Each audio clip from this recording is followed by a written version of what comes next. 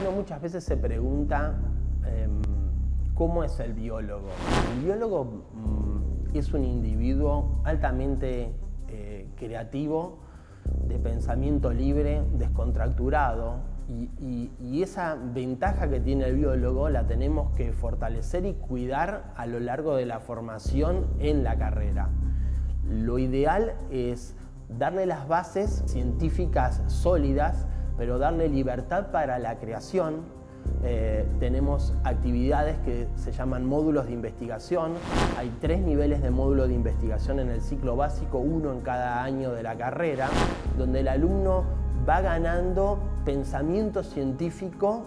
y eh, capacidades para desarrollar ideas originales biólogo va a ser una persona que va a ir por el camino de, la búsqueda, de buscar la innovación, de buscar soluciones, de arreglarse con los medios que cuenta para tratar de revertir una situación.